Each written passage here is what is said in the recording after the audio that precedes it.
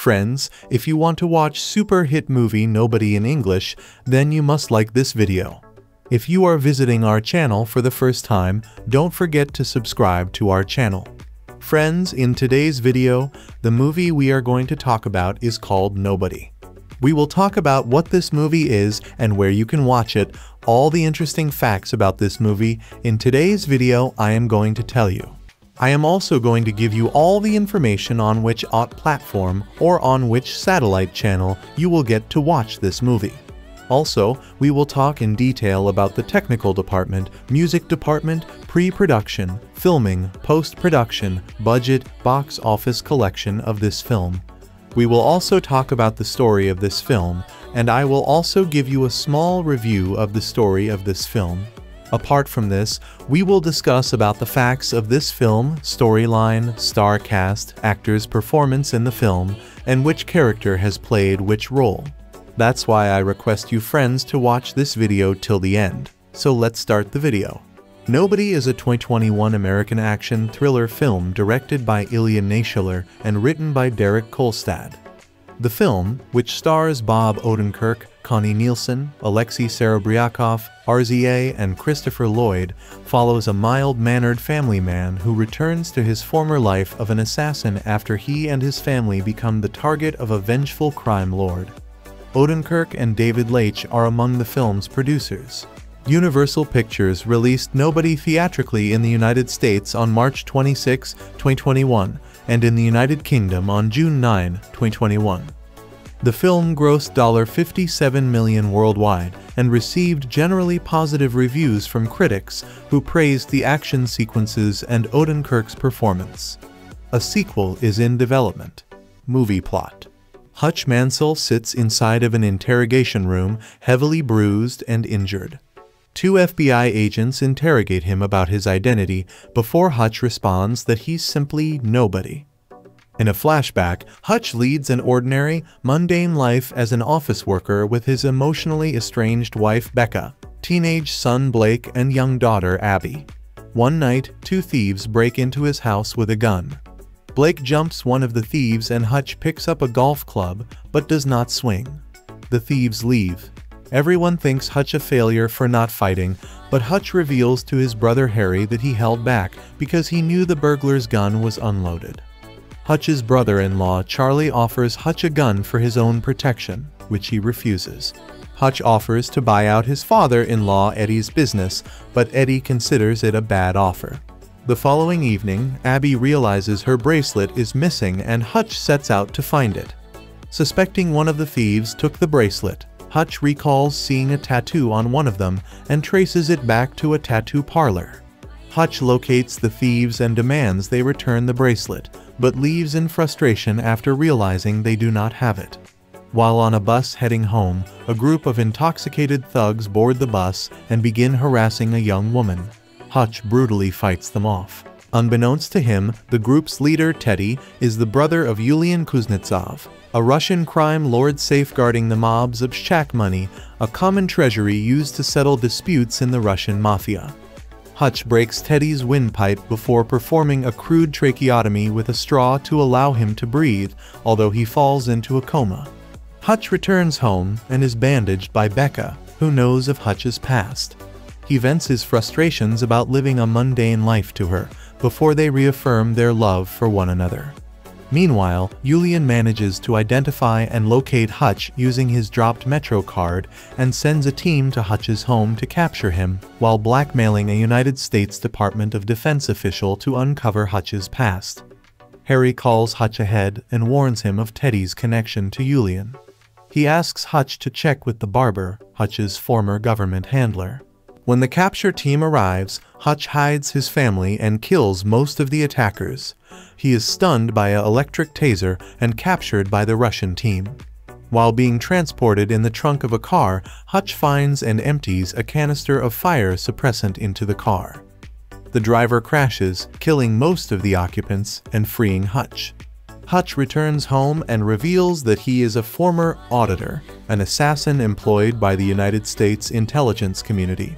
While working as an auditor, Hutch spared a target who later reformed and lived happily with a new family. Wanting a similar life, Hutch retired and settled down. Hutch sends his family to safety and retrieves his hidden gold and cash. He also finds Abby's bracelet under his couch. He burns his house down to dispose of the dead attackers in the basement and steals his neighbor's Dodge Challenger. Two assassins attempt to kill Hutch's father David at his retirement home, but David, a retired agent himself, cleverly manages to kill them. Hutch uses his gold to buy his father-in-law's metal fabrication factory and booby traps the entire place. He then goes to burn Yulian's Obshchak money. Hutch visits Yulian and offers to end the fighting. Yulian also wants out as he cannot refinance the entire Obshchak. Knowing of Yulian's plans to retire, Hutch suggests a retirement in one of the lesser-known Caribbean islands away from the Russian mafia, while Hutch gets his life back. However, Yulian and his men pursue him to the factory and surround him nonetheless. Suddenly, Harry and David arrive to assist Hutch, and the trio kill Yulian and the Russian mobsters. The police arrive and the opening scene is revisited, but he is suddenly released without charges following a mysterious phone call. Three months later, Hutch and his family have returned to normal life and are buying a new house, when Hutch receives a call hinting that more trouble may be on the way. Cast Bob Odenkirk as Hutch Mansell Nobody, a former government assassin. Connie Nielsen as Becca Mansell, Hutch's successful wife. Alexei Serebryakov as Yulian Kuznetsov, a Russian mafia boss guarding Obshchak who is targeting Hutch and his family. RZA as Harry Mansell, Hutch's brother. Michael Ironside as Eddie Williams, Hutch's father-in-law and boss. Colin Salmon as the barber, Hutch's former government handler. Christopher Lloyd as David Mansell, Hutch's father and a retired FBI agent. Billy MacLellan as Charlie Williams, Eddie's son and Hutch's brother-in-law. Gage Munroe as Blake Mansell, Hutch's teenage son. Paisley Cadorath as Abby Mansell, Hutch's daughter. Alexander Pal as Teddy Kuznetsov, Yulian's younger brother. Araya Mengesha as Pavel, Yulian's half-Russian, half-Ethiopian bodyguard. In addition, Daniel Bernhardt and Alain Moussi play two of the Russian goons on the bus. J. Manoux appears as a Pentagon employee whom Yulian blackmails. Development In January 2018, it was announced Bob Odenkirk was set to star in the film, with Ilya Naishuller directing from a screenplay by Derek Kolstad. Odenkirk also served as a producer, alongside David Leitch, Kolstad executive produced, along with Mark S. Fisher, Annie Marter, and Tobey Maguire. STX Entertainment was set to distribute the film. In April 2019, Universal Pictures acquired distribution rights to the film from STX. In October 2019, Connie Nielsen and Christopher Lloyd also joined the cast. Filming Principal photography began in Los Angeles in September 2019. Production moved to Winnipeg, Manitoba in October 2019. Filming lasted 34 days. Theatrical. Nobody was originally scheduled to be theatrically released in the United States on August 14, 2020 by Universal Pictures 13 after being repeatedly rescheduled due to the COVID-19 pandemic 141E516. The film was ultimately released in theaters on March 26, 2021. The film was released in the United Kingdom on June 9, 2021. Home Media. The film was released digitally via Premium Video on Demand on April 15, 2021 18 on digital on June 8, 2021, and on DVD and Blu-ray on June 22, 2021. The film became available on HBO Max on January 21, 2022 and as part of the streaming deal for Universal Pictures, the film permanently left the library on March 31, 2023. Box office. Nobody grossed $27.6 million in the United States and Canada and $29.9 million in other territories for a worldwide total of $57.5 million against a production budget of $16 million. A week prior to its United States release, Variety estimated the film would gross around 5 million in its opening weekend, compared to its expectation that it would open to around $15 million in a pre-COVID marketplace. The film made $25 million on its first day and went on to debut to $67 million, topping the box office. 62% of the audience was male, with 56% being under the age of 35. The film fell 56% to 3 million in its second weekend, finishing third. Critical response Review aggregator Rotten Tomatoes reports that 84% of 282 critics have given the film a positive review, with an average rating of 710. The website's critics' consensus reads, Nobody doesn't break any new ground for the genre, but this viscerally violent thriller smashes, shatters, and destroys plenty of other things all while proving Bob Odenkirk has what it takes to be an action star. On Metacritic, the film has a weighted average score of 64 out of 100 based on 43 critics, indicating generally favorable reviews. Audiences polled by CinemaScore gave the film an average grade of A on an A plus to F scale, while PostTrak reported 83% of audience members gave it a positive score, with 69% saying they would definitely recommend it. The Hollywood Reporter's John DeFore praised the film's enjoyably absurd violence and wrote, Taking itself much less seriously than the Taken series and its predecessors, it's a wish fulfillment romp just as ludicrous as any of them, but more fun than most. Richard Roeper of the Chicago Sun-Times gave the film 3 out of 4 stars, writing, most impressive of all is Odenkirk, who looks and sounds nothing like an action star until it's time for Hutch to become an action star, and we totally believe this physically unimpressive, normally mild-mannered guy as a simmering cauldron of rage who could take that teapot over there and kill ya with it. Sequel in March 2021, Connie Nielsen expressed interest in reprising her role for a sequel the actress stated that she would like to learn more about Hutch and Becca's backstory, while stating that discussions regarding how the two characters met took place on the set of the first movie.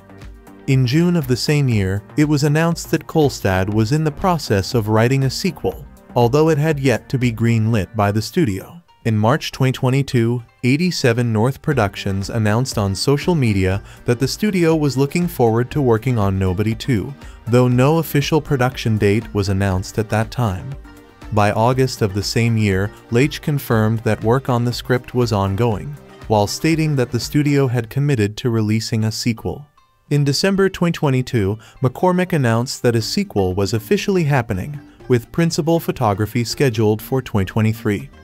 In January 2024, Nielsen confirmed that developments on the sequel were ongoing, while confirming that she will reprise her role from the first installment.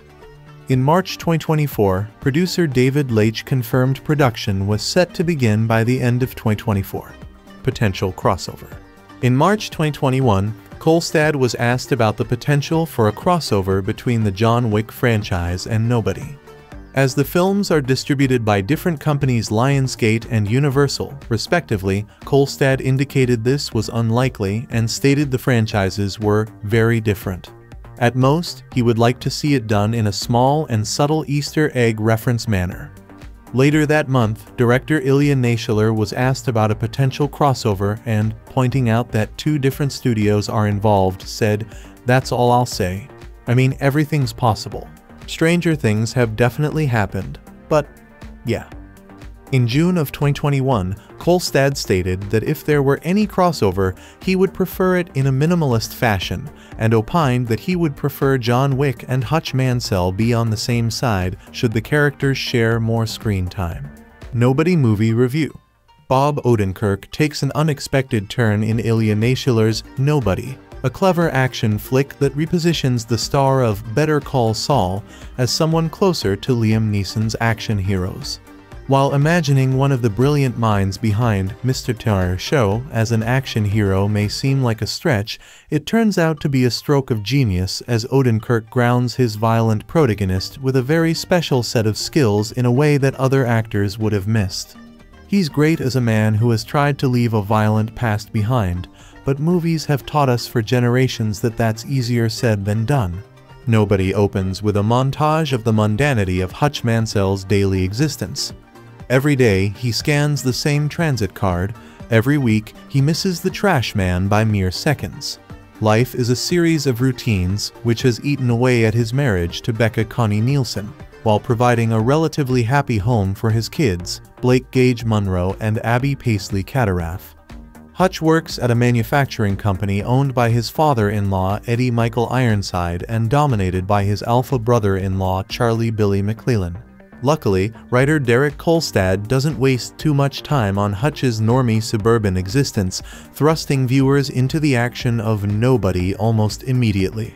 It starts with a home invasion, in which two bottom-level criminals rob the Mansells of some spending money and a few trinkets. Hutch has the drop on one of them, golf club raised in the air, but he doesn't take the chance at elevating the violence, much to the disappointment of his son and disdain of his dude bro male neighbor. When it looks like the invaders may have taken poor Abby's kitty cat bracelet, Hutch snaps, tracking them down to retrieve it. However, Nobody is not really a Death Wish-esque story of an average guy turned vigilante. There are hints very early on that Hutch isn't just a normal suburbanite. Even his man cave seems laid out to hint at a different background than your neighbor, including a radio through which he speaks to his brother Harry RZA, who is in hiding. Why? And what's up with the box of fake IDs and money that Hutch's father David Christopher Lloyd has been storing away? When the bracelet retrieval job goes a little sideways, Hutch is on a bus heading home when he encounters a group of obnoxious drunks harassing a woman who's on her own. He takes it upon himself to protect her and essentially starts a violent war with a Russian crime lord named Yulian Alexei Serebryakov. The bus scene that initiates the real action of Nobody is the kind of action choreography work of art that will have devoted audiences applauding at screenings for years to come.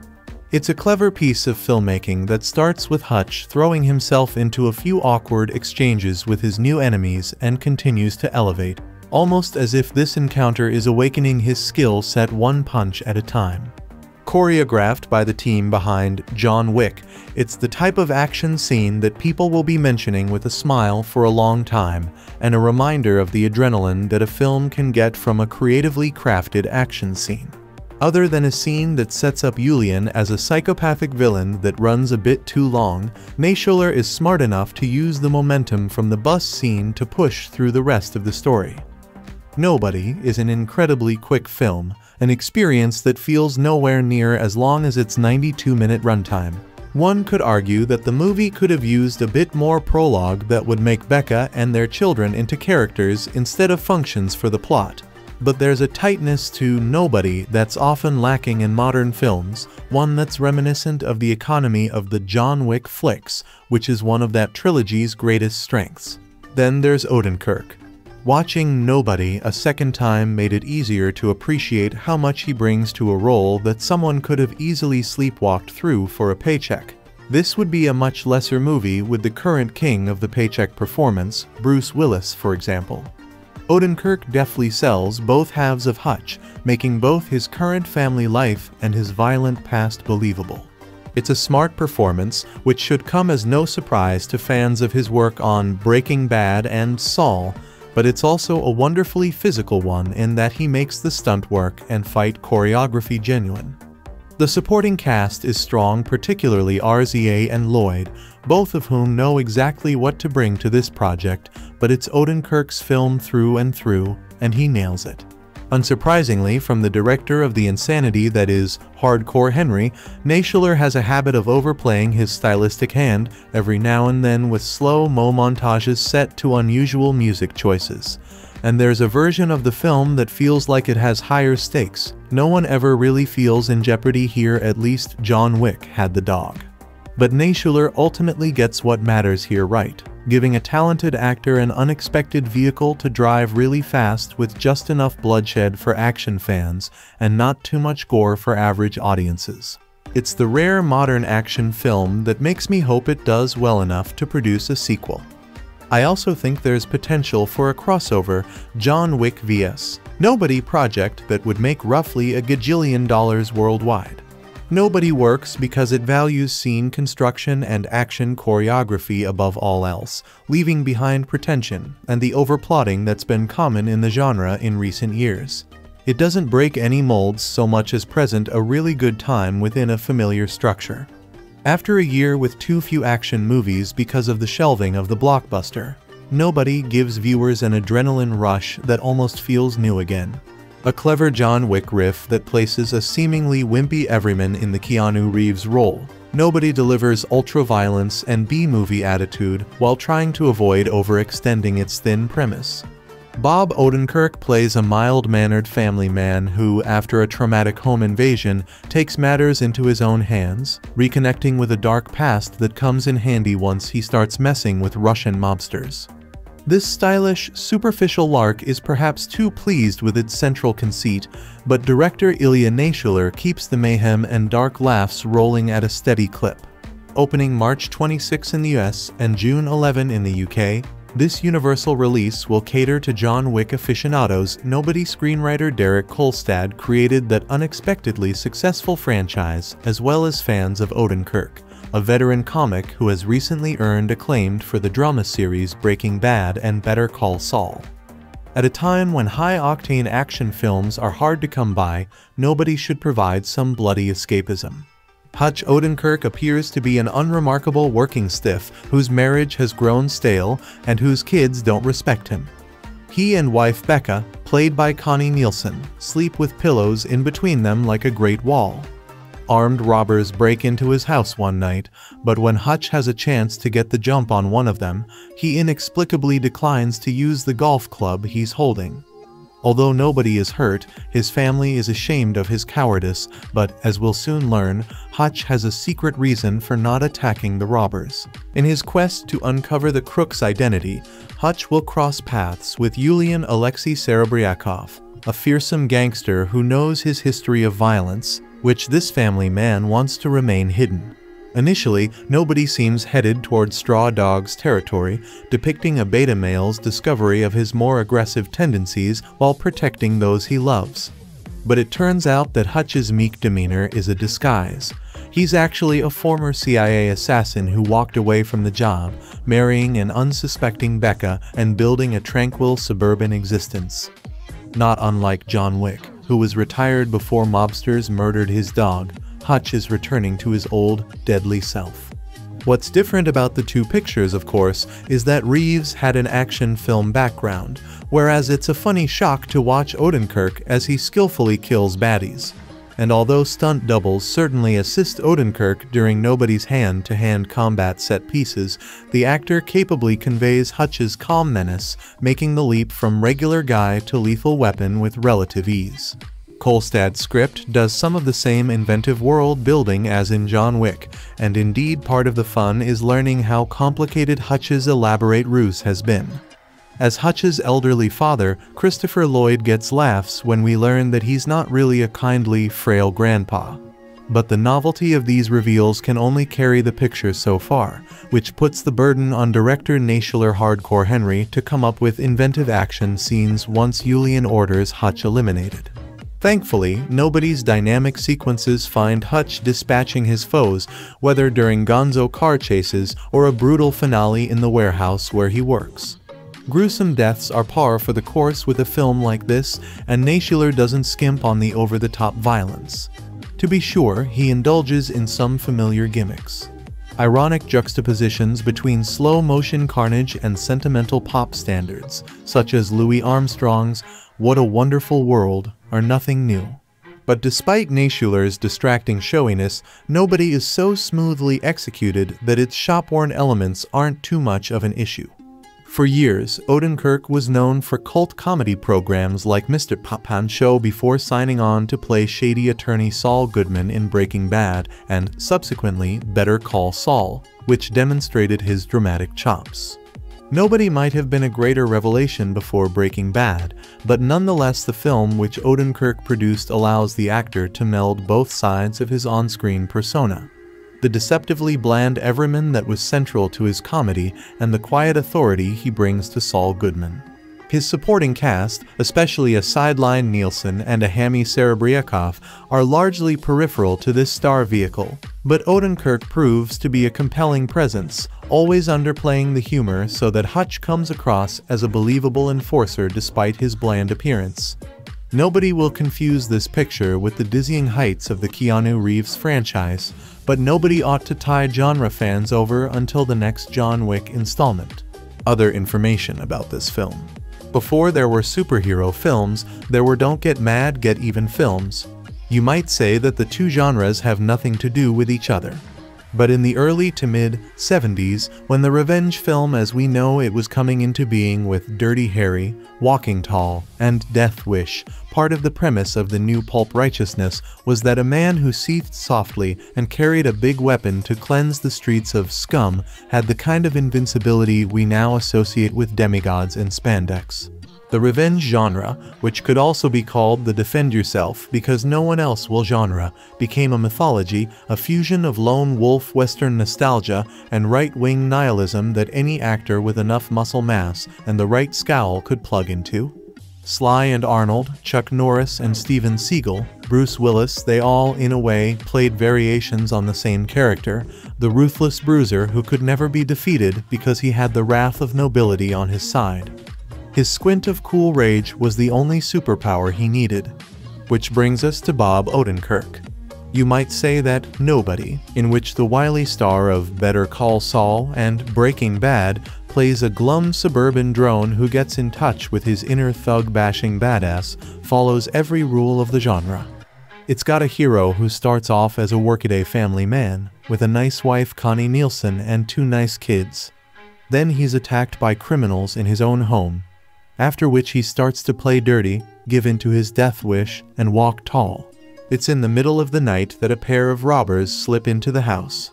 Odenkirk's Hutch Mansell, hearing noises, goes downstairs to investigate, and there's a scuffle, but it's between his teenage son, Blake Gage Munroe, and one of the intruders. Hutch, holding a golf club for protection, can't bring himself to use it. The robbers leave, but Hutch finds himself being called a wimp. By who? By the cops, his son, and his macho neighbor, by everyone who hears about the incident. We think we're watching a movie about a paragon of middle-class mildness, like Bryan Cranston's high school teacher in Breaking Bad or Bronson's architect in Death Wish, who's about to tap into something he has never felt before. But then Hutch, in a moment of existential meltdown, takes a midnight bus ride, and the bus is soon occupied by half a dozen Russian goons looking for trouble. Hutch takes the handgun his brother gave him and pointedly drops the bullets out of the chamber and onto the floor. He then takes on the entire gang with his bare hands and a blade or two, introducing the fight with the Eastwood-worthy line, I hope these assholes like hospital food. Moments later, Hutch walks away, bruised but unbowed, and his victims are indeed headed for the hospital. How did this happen? Hutch, it turns out, was never what he seemed. He's got quite a backstory, and Nobody isn't the movie it seemed either. It was directed by Ilya Naishuller, the audacious punk video auteur who has made just one previous feature, Hardcore Henry 2015, a spectacularly grandiose and innovative sci-fi noir action thriller done almost entirely in one shot, all from the point of view of its cybernetic hero. I found it at once annoying and amazing, and nobody proves again that Naishuller, born in Russia and raised in London, may be as far as you can get from a psychological realist. The spirit of Sin City graphic novels and first-person shooter video games flows through his blood, but he's a born filmmaker. Nobody is a thoroughly over-the-top, and at times, Looney Tunes entry in the live and let die vengeance is mine genre. Is it a good movie? Not exactly. But its 90 minutes fly by, and it's a canny vehicle for Odenkirk, the unlikeliest star of a righteous macho bloodbath since Dustin Hoffman got his bear trap on in Straw Dogs. With his nerdishly parted receding hair, officious voice, and crestfallen air, Odenkirk could be the gloomier brother of Steve Carell, and you may wonder how we could start to buy him as the scariest person in the room but Hutch possesses not so much brute strength as a certain deadly secret training and mad skill, and Odenkirk shows you how the payback brings him back to life. He'll need every bit of that skill too. One of the thugs he damaged is the brother of Yulian, a Russian mobster played by Alexei Serebryakov from Leviathan, with a fearsome magnetism that's at once authentic and operatic. He's like the Frankenstein's monster of hard partying hooligans.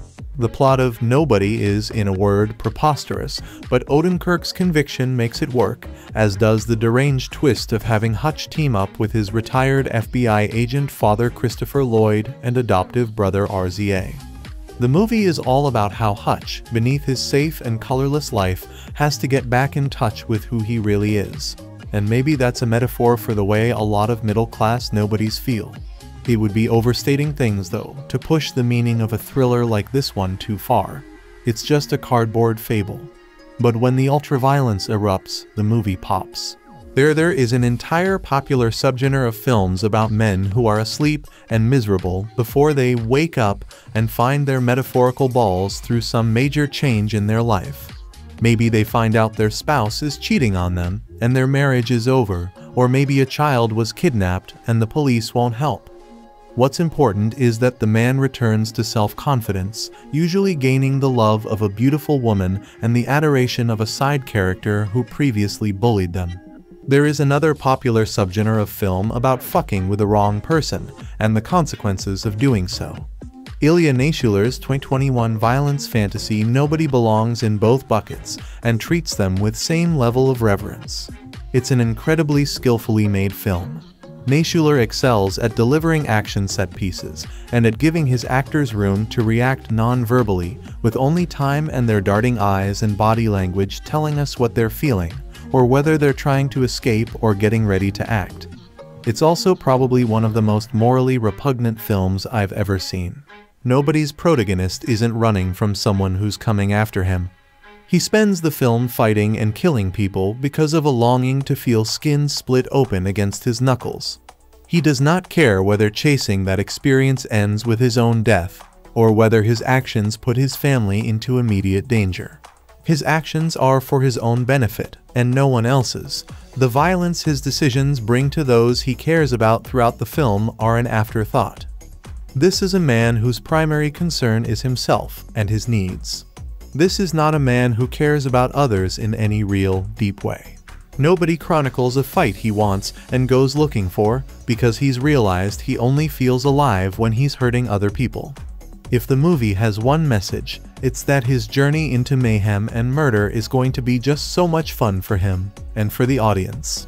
Watching Nobody is an absolute joy. There is little more gratifying than seeing someone on the screen be the best at what they do but that joy is mitigated by the fact that he's doing what he does best for selfish reasons. You have to be who you are. Hutch Mansell Bob Odenkirk, delivering a sincere, committed performance is dead inside. His wife Becca Connie Nielsen tolerates him at best.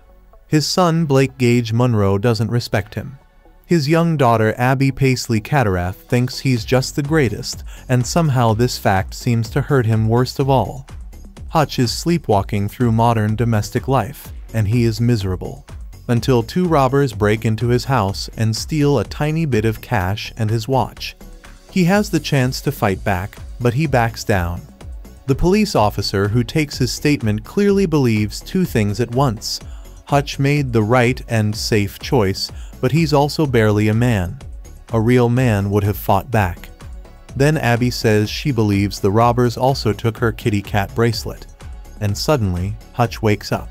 As with most movies of this type, Hutch secretly had Batman-level talents and connections for investigation and violence all along. It turns out he was once a government auditor, a euphemism for a top-secret executioner who showed up when the government didn't want anyone left alive to complain about a problem. Hutch was the sort of fictional Black Ops agent with a completely redacted file. And his job gave him skills at observation that most suburban dads wouldn't have. Skills that told him he didn't need to resist the robbery. The thief's gun was unloaded and hadn't been fired in a while. But after years of suppressing his violent side, Hutch wants to hit and be hit. He wants broken hands and dead bodies. He might have desired a quiet life at one time, but suburbia is eating away at him like a cancer. The robbers didn't give him a reason, they gave him an excuse. Tracking them down proves unsatisfying their poverty, and the sick baby they're supporting mean they aren't clean targets for his rage, and that infuriates him. In his mind, their helplessness doesn't give him another chance to be a man of peace. It just unfairly robs him of the opportunity to take part in justified violence. Hutch finally finds catharsis when a group of young Russian men tries to get onto the bus he's riding home. When he sees they're drunk, violent, and surrounded by scared potential victims, he prays that they get on and do what he knows they're going to do. What transpires is an epic beatdown with knives, improvised blunt objects, and some of the most painful-looking combat I've seen in modern cinema. Hutch dishes out only slightly more pain than he takes, and in one amazing scene, after being thrown out of the bus through a window, he picks himself up from the pile of broken glass and slowly, painfully, walks back into the bus to keep the fight going. It's this single-minded approach to fighting, the preternatural ability to absorb damage that makes him such a terrifying opponent. He's the Terminator, dressed up like your racist uncle. The bus fight is the literal answer to Hutch's pleas to the universe. Deliver me people I can kill, who will hurt me, and I will once again live the life of a chosen man. I will stop pretending to be a man of peace. When he finds out the young men were connected to the Russian mob, he treats it less like an unintended consequence and more like a bonus round. The assassins that come to avenge his first set of victims is everything Hutch wanted. I want to watch the whole world burn. The John Wick films are basically the half-pipe of the action stunt world, next to series like The Mission, Impossible movies. The story exists to give the creative team freedom to set up incredible action scenes which are rarely complicated by plot developments or narrative considerations. Everything is an excuse for violence. In John Wick, the title character played by Keanu Reeves goes on a rampage because the bad guys kill his dog, the last gift he has left behind from his dead wife. Everything John does from that point on, everything, is justified by the fact that he's fighting smug puppy killers. Screenwriter Derek Kolstad, who also wrote Nobody, bakes the moral reckoning right into the premise. The difference is Bob's character doesn't need to go back, he wants to, Naishuller told Inverse. He's addicted to violence, to an exciting life. Nobody is a different beast. I know Bob is a different actor from Keanu. Nobody is a deeper film. There's more happening below the surface. It's no surprise when Hutch learns the robbers didn't take Abby's kitty cat bracelet after all. That doesn't change a thing. A simpler movie would have used the bracelet as a MacGuffin, something that means nothing in the greater world, but gives Hutch a reason to fight for his family. The fact that was just misplaced is a nihilistic joke. Hutch continues to kill because he likes it, and his gradual realization that he's only at his best when destroying human flesh gives the film a manic energy as the violence keeps escalating and grows even more cartoonish. As the film goes on and Hutch becomes happier, we go to this super colorful comic book style, where at the end of the movie, the action is supposed to be ridiculous, Naishuller told IndieWire. It's absolutely excessive. There's no need to kill 50 people. But there is because that's what we paid money for. We're supposed to have a good time. And because finally, Bob's character is having a good time, I felt we're allowed to have the dessert of this just ridiculous violence. Nobody and John Wick do have a lot in common, given that both are stories about quiet men finding a reason to return to their violent pasts but nobody is actually much closer to John Dahl's 1998 gambling drama Rounders than to any other contemporary film. Rounders tells the story of a young man born to play cards, to read people, and take their money. He tries to hide his true nature by going to school to learn law, a profession that also benefits from superior risk management and the ability to read opponents, but he only finds himself again when he leaves his real life to chase the next game. Whatever life he chooses in which he isn't playing cards would be a lie. Nobody tells the same story, but with death, pain, murder, and fun. This is no moral cover for what Hutch does in this film, outside of the fact that he decides to kill other criminals. His primary target even wants to abandon his criminal career, but Hutch doesn't want anyone to escape. He wants everyone but his own family locked in that figurative bus, unable to escape his fury. He hurts people because he wants to, and he doesn't feel like he's a man unless he's doing so. If he dies in the process, he knows he'll die happy, doing what he loved.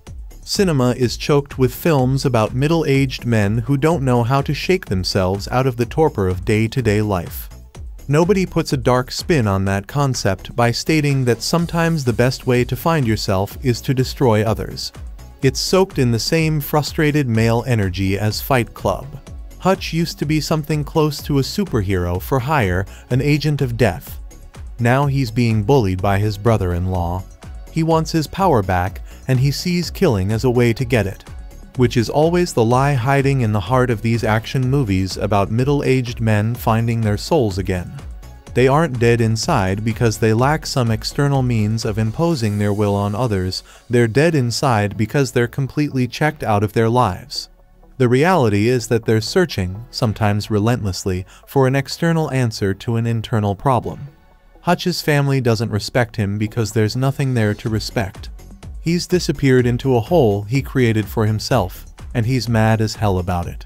I've heard folks describe nobody as a parable of repressed male rage, but in what universe is male rage repressed? Male rage permeates our reality, from pop culture to politics. There might not be another emotion so often expressed or imposed on others. Some people may relate to the desire to hurt others to once again feel masculine. But far more people have stories about being victims of that same male rage, and their rights aren't trumped by someone else's longing to feel like a man. The reality is, Hutch stopped showing up for his own life, and everyone noticed. Who can love or even respect a man who fell asleep years ago and doesn't seem to mind? And why is it fun to see him take out that choice on other people? Nobody is almost a horror film, told primarily through the claustrophobic point of view of its sociopathic lead character. I'm not sure anyone but Odenkirk could have pulled off this thematic bait and switch so well. But the end result is a film that lays bare the calculus of movie violence and gets uncomfortably close to a question America does not seem to want to answer. What if one regular guy's happiness isn't worth a pile of bodies? Positive elements. Once Hutch lets his rage and anger spill over, it causes exactly what he was afraid of and puts his family in deeper danger and Hutch must go to greater extremes to protect those he loves.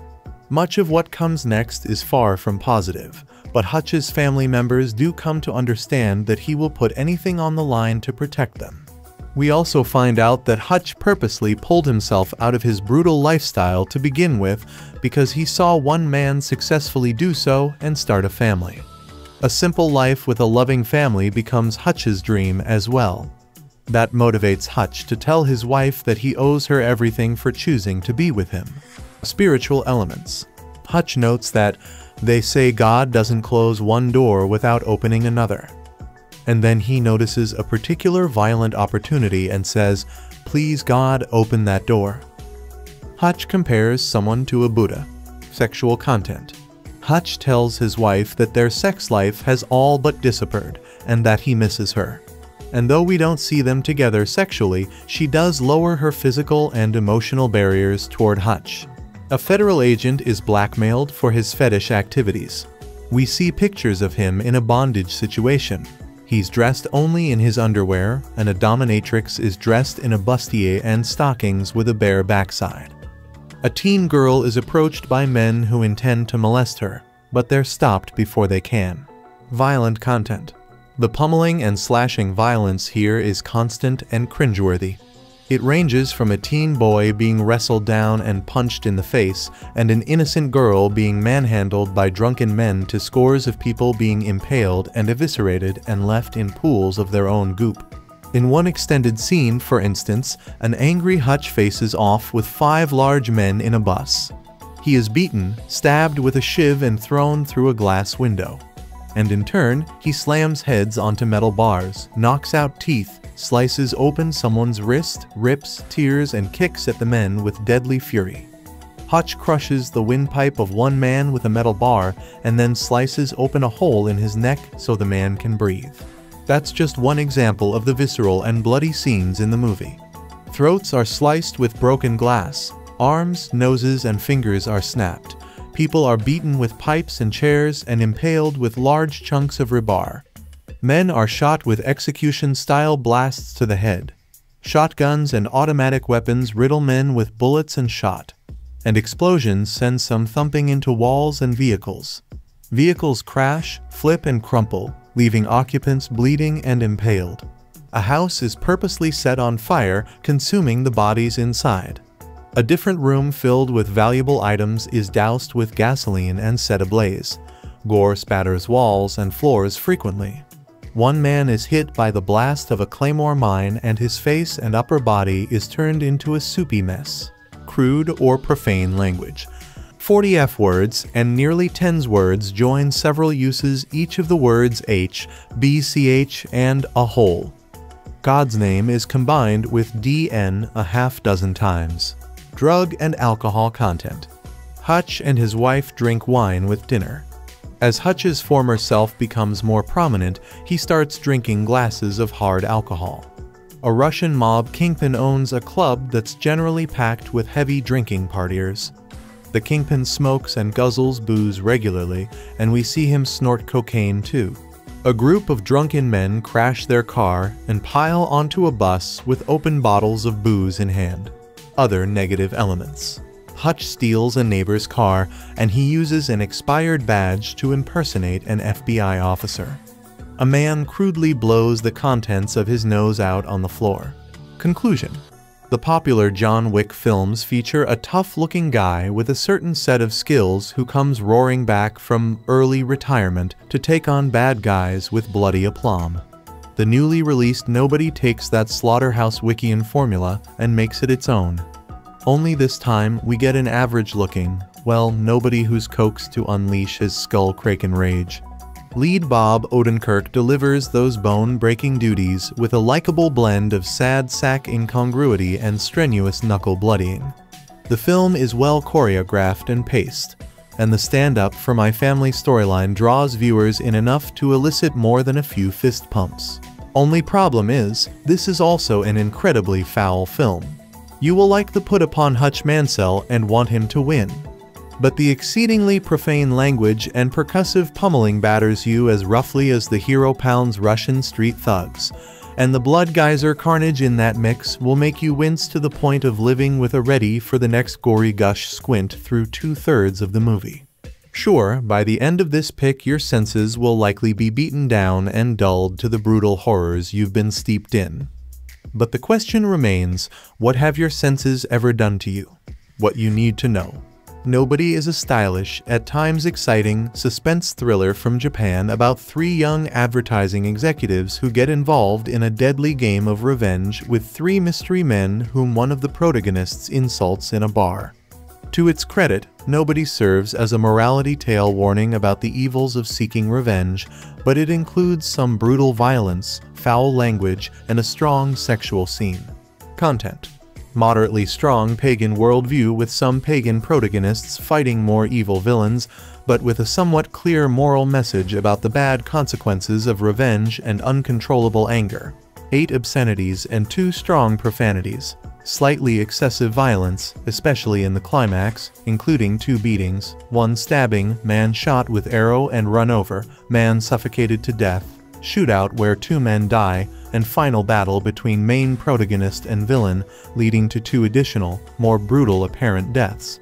Implied fornication and brief depicted fornication. Upper male and female nudity and rear male nudity. Alcohol use. Smoking. Man uses Bible to smuggle gun and uncontrollable anger and revenge escalates, causing really bad consequences that seem to teach main characters an awful lesson about the deadly evils of revenge. More detail. Revenge may be sweet, but it also can be deadly. That's the main message sent by Nobody, an otherwise flawed Japanese movie that recently began screenings in Los Angeles, Calif. Nobody is a stylish, at times exciting, suspense thriller shot mostly in the tradition of Alfred Hitchcock.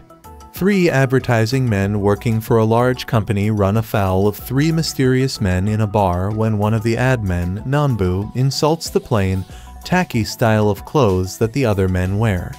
When one of the other ad men, Kenishi, forgets his umbrella, the three mystery men beat him up so bad that he has to go to the hospital. Nanbu convinces Kenishi and Taki to seek revenge. By coincidence, they meet one of the other three men in a dark tunnel and beat him up severely, leaving him there. Nanbu, of course, is the one who enjoys beating up the man the most. With his conscience bothering him, Taki reads newspapers to make sure that the man in the tunnel didn't die. He finds no reports about it, but suddenly he and the other two men start getting calls from the leader of the three mystery men. The leader tells them that the man they beat up has died. He vows revenge. Kanishi suffers another attack, putting him in the hospital. Taki and Nanbu at first lie to the police about it, even though the leader of the mystery men assures them that going to the police will not protect them anyway. He is right, and Taki, who's cheating on his nice girlfriend with a sexy model, eventually must fight it out to the death with the leader, but not before some nifty twists in the plot. Nobody holds down the blood and gore until the final battle between Taki and the leader of the mystery men. A plot twist in the final battle provides perhaps the most extreme violence in the movie. Before that, there's an exciting shootout between the bad guys, Taki, and a policeman who's decided to help Taki. In between are two nerve-wracking attempts against the lives of Nanbu and Kanishi. To its credit, Nobody serves as a morality tale warning about the evils of seeking revenge and becoming uncontrollably angry. Regrettably, its final scenes are bloody and brutal enough to rate a strong R rating, although this particular foreign film has not been rated by the Motion Picture Association of America. Also, the movie contains references to implied fornication and one scene of depicted fornication, including upper female nudity. Finally, the three protagonists observe no high moral principles other than the fact that they are not as sinful as the antagonists, Although the antagonists instigate the violence, the protagonists try to finish it, but begin to realize they're in over their heads. Also, the movie clearly portrays Nanbu, the worst of the three protagonists, as a mean-spirited hothead. The conceited Nanbu gets out of control at times and even advises his friend Taki to fornicate with other women besides his girlfriend. Taki, of course, eventually gives in to this advice, but he also suffers for his bad decision. With a little more careful planning, more artistic restraint in the ending, no objectionable content like obscenities and scenes of depicted fornication, and a strong Christian worldview, nobody could have been a really first-rate suspense thriller. As it is, the movie deserves a strong caution for adult viewing no teenagers or children, and is likely to play only small art houses in large cities in the United States and elsewhere, as it did in Los Angeles this June. We have all seen the action movie about the normal, average guy who is thrust into an abnormal situation. One spin on this tale is to make the guy seem normal at first, but to give him a secretive past, one that will help him with whatever issues arise within the film. We have all seen that version of the story too. What we have rarely seen, however, is as good a take on it as Bob Odenkirk's new film, Nobody. Directed by Ilya Naishuller with a script from Derek Kolstad, Nobody is something special. It isn't just that Odenkirk is fantastic, and he is fantastic, it's that the movie hits all the right notes, all the way down the line. Everything that goes into it builds around this idea that the look and feel of Odenkirk, especially Odenkirk as this character Hutch Mansell, is not the expected look and feel of an action hero. Everything is skewed towards the regular, and then the incongruous occurs. It happens from the start of the movie and continues all the way through. We learn all about Hutch and his quiet, dull, sad life in the greatest of fashions. We see a montage of several weeks in his life as he gets up, exercises, takes the bus to work, enters numbers in a spreadsheet, and misses the garbage man over and over again. We see his wife, Becca Connie Nielsen, remind him of this last bit repeatedly. It's a brilliant entry point, because this is who Hutch is, it is who he has been for years, and who he might very well be forever. When we meet him, he's a nice, quiet, family man. He's employed by his father-in-law Michael Ironside in what feels like a position he was given so that the old man's daughter could be happy. There's a pillow wall on Hutch and Becca's bed, a barrier between the two. Who put it there? How long has it been there? The two don't seem like they would fight, but there's a lingering sense of her disappointment in him, in his quiet nothingness as a human being, a disappointment he echoes. This very well might be a film about one suburban guy having a midlife crisis. It isn't. After the introduction, there are some completely eye-opening moments as this guy, Hutch, slowly has his layers peeled back and is revealed to not be an average individual, but a man who once lived a life requiring that he kill a whole lot of folks. Odenkirk is believable as the average schmo when Hutch is wearing a polo tucked into his khakis. But then it comes time for Hutch to kill someone, and there's a glint in the actor's eyes. We can see Hutch come alive as he's getting stabbed, we can see a fire building inside as he reveals his true self, and it's amazing. Kolstad is the writer of the three John Wick movies, and this story has a similar vibe. There is this shadowy world we do not know about, but which clearly has been constructed, and quite possibly will be revealed in the future. Odenkirk's Hutch can even be seen as a take on Wick himself, but when we see Keanu Reeves, we all know that he is a guy who cannot just deliver action beats on screen, but really and truly make the audience feel the blows. Odenkirk is just as good here, if not better, because we don't expect it from him.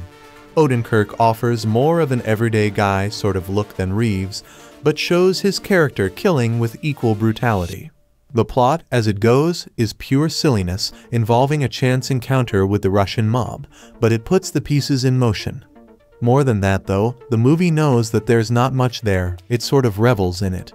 The big bad, Yulian Alexei Serebryakov is the anti-Hutch, living a loud life as an ultra-violent man, a man with dozens of armed individuals at his beck and call. Hutch has no one to call. Well, except for his dad Christopher Lloyd and his mysteriously disappeared brother RZA, a man who is little more than a voice on the other end of a radio. Looking at the music, there is stuff like Louis Armstrong singing What a Wonderful World, Gerry and the Pacemakers doing You'll Never Walk Alone, Andy Williams performing The Impossible Dream, and Pat Benatar singing Heartbreaker. It isn't just that it crosses genres and decades, it's that a lot of the songs aren't necessarily what you would expect for an action movie, not that they haven't been used, necessarily. This is also a movie where Naishuller is wonderfully comfortable with not including music or having it drop out suddenly, so as to better let the audience hear the silence or impacts of hits in a fight. Nobody may be ultra-violent and unreasonably funny, but it's also beautiful in its own way. There is a scene where a fire starts and it's just gorgeously shot. Yes, whatever the goal of an image, or a song, or a sound, or a silence, or a look from Odenkirk, or Nielsen, or Lloyd, or Serebryakov, it all serves to convince us that this movie is an odd choice for Odenkirk, or that Odenkirk is an odd choice for this movie. Then, of course, the actor puts a bullet through someone's skull, or builds a grenade or viciously knifes someone else, and we're pretty convinced he could break our legs with little more than a flick of the wrist. Odenkirk doesn't just shine in the role, he mesmerizes.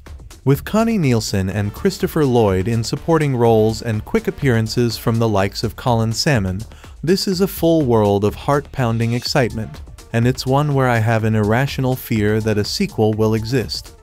It isn't that I don't want to see more of Hutch and what he can do, it's that nobody is perfect, and it is unreasonable to ask a follow-up to be as good. Universal is releasing Nobody only to theaters, and if you're vaccinated and will wear a mask the whole time, you should go see it. I desperately wish I had experienced this movie for the first time on the big screen because I now can only imagine the way it would have hit me. It is without a doubt the best action movie I have seen in a long time, and if it's in theaters after I'm vaccinated, I can promise I'll be going again. Frankly, I'd be afraid of meeting Odenkirk in a dark alley if I didn't. Nobody is a 2021 American action thriller film directed by Ilya Naishuller and written by Derek Kolstad. The film, which stars Bob Odenkirk, Connie Nielsen, Alexei Serebryakov, RZA, and Christopher Lloyd, follows a mild-mannered family man who returns to his former life of an assassin after he and his family become the target of a vengeful crime lord. Odenkirk and David Leitch are among the film's producers. Universal Pictures released Nobody theatrically in the United States on March 26, 2021, and in the United Kingdom on June 9, 2021. The film grossed 57 million worldwide and received generally positive reviews from critics who praised the action sequences and Odenkirk's performance. A sequel is in development. movie plot. Hutch Mansell sits inside of an interrogation room, heavily bruised and injured. Two FBI agents interrogate him about his identity before Hutch responds that he's simply nobody. In a flashback, Hutch leads an ordinary, mundane life as an office worker with his emotionally estranged wife Becca, teenage son Blake, and young daughter Abby. One night, two thieves break into his house with a gun. Blake jumps one of the thieves and Hutch picks up a golf club, but does not swing. The thieves leave. Everyone thinks Hutch a failure for not fighting, but Hutch reveals to his brother Harry that he held back because he knew the burglar's gun was unloaded. Hutch's brother-in-law Charlie offers Hutch a gun for his own protection, which he refuses. Hutch offers to buy out his father-in-law Eddie's business, but Eddie considers it a bad offer. The following evening, Abby realizes her bracelet is missing and Hutch sets out to find it. Suspecting one of the thieves took the bracelet, Hutch recalls seeing a tattoo on one of them and traces it back to a tattoo parlor. Hutch locates the thieves and demands they return the bracelet, but leaves in frustration after realizing they do not have it. While on a bus heading home, a group of intoxicated thugs board the bus and begin harassing a young woman. Hutch brutally fights them off. Unbeknownst to him, the group's leader, Teddy, is the brother of Yulian Kuznetsov, a Russian crime lord safeguarding the mob's obshchak money, a common treasury used to settle disputes in the Russian mafia. Hutch breaks Teddy's windpipe before performing a crude tracheotomy with a straw to allow him to breathe, although he falls into a coma. Hutch returns home and is bandaged by Becca, who knows of Hutch's past. He vents his frustrations about living a mundane life to her, before they reaffirm their love for one another. Meanwhile, Yulian manages to identify and locate Hutch using his dropped Metro card and sends a team to Hutch's home to capture him, while blackmailing a United States Department of Defense official to uncover Hutch's past. Harry calls Hutch ahead and warns him of Teddy's connection to Yulian. He asks Hutch to check with the barber, Hutch's former government handler. When the capture team arrives, Hutch hides his family and kills most of the attackers. He is stunned by an electric taser and captured by the Russian team. While being transported in the trunk of a car, Hutch finds and empties a canister of fire suppressant into the car. The driver crashes, killing most of the occupants and freeing Hutch. Hutch returns home and reveals that he is a former auditor, an assassin employed by the United States intelligence community. While working as an auditor, Hutch spared a target who later reformed and lived happily with a new family. Wanting a similar life, Hutch retired and settled down. Hutch sends his family to safety and retrieves his hidden gold and cash. He also finds Abby's bracelet under his couch. He burns his house down to dispose of the dead attackers in the basement and steals his neighbor's Dodge Challenger. Two assassins attempt to kill Hutch's father David at his retirement home, but David, a retired agent himself, cleverly manages to kill them. Hutch uses his gold to buy his father-in-law's metal fabrication factory and booby traps the entire place. He then goes to burn Yulian's obshchak money. Hutch visits Yulian and offers to end the fighting. Yulian also wants out as he cannot refinance the entire obshchak, Knowing of Yulian's plans to retire, Hutch suggests a retirement in one of the lesser-known Caribbean islands away from the Russian mafia, while Hutch gets his life back. However, Yulian and his men pursue him to the factory and surround him nonetheless. Suddenly, Harry and David arrive to assist Hutch, and the trio kill Yulian and the Russian mobsters. The police arrive and the opening scene is revisited, but he is suddenly released without charges following a mysterious phone call. Three months later, Hutch and his family have returned to normal life and are buying a new house when Hutch receives a call hinting that more trouble may be on the way. Cast Bob Odenkirk as Hutch Mansell Nobody, a former government assassin. Connie Nielsen as Becca Mansell, Hutch's successful wife. Alexei Serebryakov as Yulian Kuznetsov, a Russian mafia boss guarding Obshchak who is targeting Hutch and his family. RZA as Harry Mansell, Hutch's brother. Michael Ironside as Eddie Williams, Hutch's father-in-law and boss. Colin Salmon as the barber, Hutch's former government handler. Christopher Lloyd as David Mansell, Hutch's father and a retired FBI agent.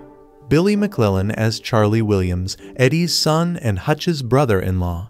Gage Munroe as Blake Mansell, Hutch's teenage son. Paisley Cadorath as Abby Mansell, Hutch's daughter. Alexander Pal as Teddy Kuznetsov, Yulian's younger brother.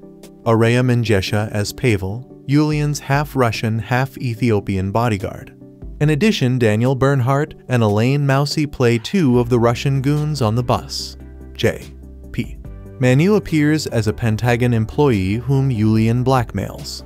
Development In January 2018, it was announced Bob Odenkirk was set to star in the film, with Ilya Naishuller directing from a screenplay by Derek Kolstad.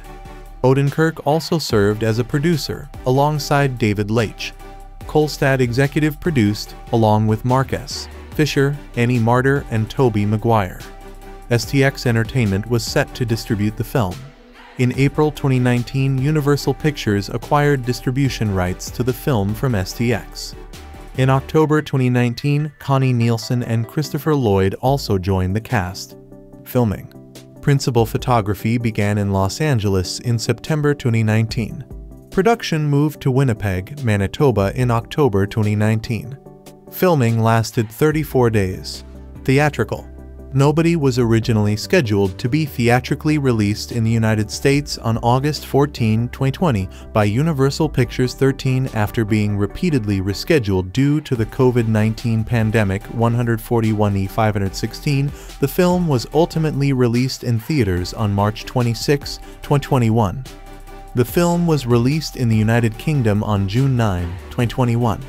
Home Media the film was released digitally via Premium Video on Demand on April 15, 2021 18 on digital on June 8, 2021, and on DVD and Blu-ray on June 22, 2021. The film became available on HBO Max on January 21, 2022, and as part of the streaming deal for Universal Pictures, the film permanently left the library on March 31, 2023. Box Office Nobody grossed $27.6 million in the United States and Canada and $29.9 million in other territories for a worldwide total of $57.5 million against a production budget of $16 million. A week prior to its United States release, Variety estimated the film would gross around 5 million in its opening weekend, compared to its expectation that it would open to around $15 million in a pre-COVID marketplace. The film made $25 million on its first day and went on to debut to $67 million, topping the box office. 62% of the audience was male, with 56% being under the age of 35. The film fell 56% to 3 million in its second weekend, finishing third. Critical response Review aggregator Rotten Tomatoes reports that 84% of 282 critics have given the film a positive review, with an average rating of 710. The website's critics' consensus reads, Nobody doesn't break any new ground for the genre, but this viscerally violent thriller smashes, shatters, and destroys plenty of other things all while proving Bob Odenkirk has what it takes to be an action star. On Metacritic, the film has a weighted average score of 64 out of 100 based on 43 critics, indicating generally favorable reviews. Audiences polled by CinemaScore gave the film an average grade of A on an A plus to F scale, while PostTrak reported 83% of audience members gave it a positive score, with 69% saying they would definitely recommend it. The Hollywood Reporter's John DeFore praised the film's enjoyably absurd violence and wrote, Taking itself much less seriously than the Taken series and its predecessors, it's a wish fulfillment romp just as ludicrous as any of them, but more fun than most. Richard Roeper of the Chicago Sun-Times gave the film 3 out of 4 stars, writing, most impressive of all is Odenkirk, who looks and sounds nothing like an action star until it's time for Hutch to become an action star, and we totally believe this physically unimpressive, normally mild-mannered guy as a simmering cauldron of rage who could take that teapot over there and kill ya with it. Sequel in March 2021, Connie Nielsen expressed interest in reprising her role for a sequel. The actress stated that she would like to learn more about Hutch and Becca's backstory, while stating that discussions regarding how the two characters met took place on the set of the first movie. In June of the same year, it was announced that Kolstad was in the process of writing a sequel, although it had yet to be greenlit by the studio. In March 2022, 87 North Productions announced on social media that the studio was looking forward to working on Nobody 2, though no official production date was announced at that time.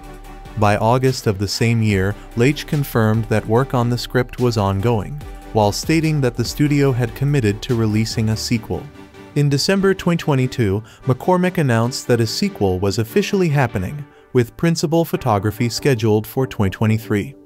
In January 2024, Nielsen confirmed that developments on the sequel were ongoing, while confirming that she will reprise her role from the first installment. In March 2024, producer David Leitch confirmed production was set to begin by the end of 2024.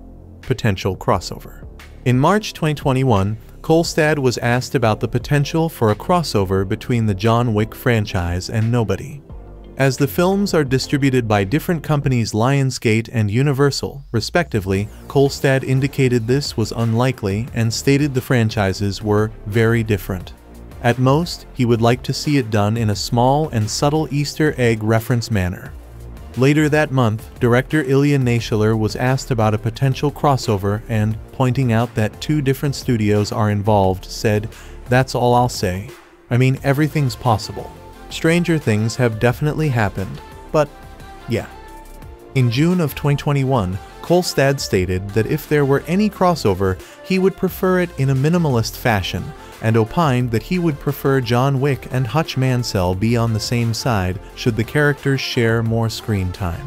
Nobody Movie Review Bob Odenkirk takes an unexpected turn in Ilya Naishuller's Nobody, a clever action flick that repositions the star of Better Call Saul as someone closer to Liam Neeson's action heroes.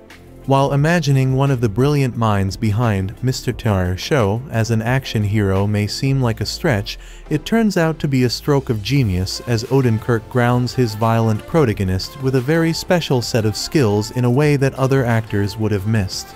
He's great as a man who has tried to leave a violent past behind, but movies have taught us for generations that that's easier said than done. Nobody opens with a montage of the mundanity of Hutch Mansell's daily existence. Every day, he scans the same transit card. Every week, he misses the trash man by mere seconds. Life is a series of routines which has eaten away at his marriage to Becca Connie Nielsen, while providing a relatively happy home for his kids, Blake Gage Munroe and Abby Paisley Cadorath. Hutch works at a manufacturing company owned by his father-in-law Eddie Michael Ironside and dominated by his alpha brother-in-law Charlie Billy MacLellan. Luckily, writer Derek Kolstad doesn't waste too much time on Hutch's normie suburban existence, thrusting viewers into the action of Nobody almost immediately. It starts with a home invasion, in which two bottom-level criminals rob the Mansells of some spending money and a few trinkets. Hutch has the drop on one of them, golf club raised in the air, but he doesn't take the chance at elevating the violence, much to the disappointment of his son and disdain of his dude bro male neighbor. When it looks like the invaders may have taken poor Abby's kitty cat bracelet, Hutch snaps, tracking them down to retrieve it. However, Nobody is not really a death wish-esque story of an average guy turned vigilante. There are hints very early on that Hutch isn't just a normal suburbanite.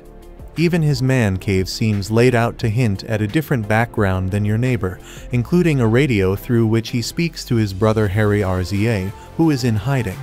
Why? And what's up with the box of fake IDs and money that Hutch's father David Christopher Lloyd has been storing away? When the bracelet retrieval job goes a little sideways, Hutch is on a bus heading home when he encounters a group of obnoxious drunks harassing a woman who's on her own. He takes it upon himself to protect her and essentially starts a violent war with a Russian crime lord named Yulian Alexei Serebryakov. The bus scene that initiates the real action of Nobody is the kind of action choreography work of art that will have devoted audiences applauding at screenings for years to come. It's a clever piece of filmmaking that starts with Hutch throwing himself into a few awkward exchanges with his new enemies and continues to elevate, almost as if this encounter is awakening his skill set one punch at a time. Choreographed by the team behind John Wick, it's the type of action scene that people will be mentioning with a smile for a long time, and a reminder of the adrenaline that a film can get from a creatively crafted action scene. Other than a scene that sets up Julian as a psychopathic villain that runs a bit too long, Naishuller is smart enough to use the momentum from the bus scene to push through the rest of the story. Nobody is an incredibly quick film, an experience that feels nowhere near as long as its 92-minute runtime. One could argue that the movie could have used a bit more prologue that would make Becca and their children into characters instead of functions for the plot.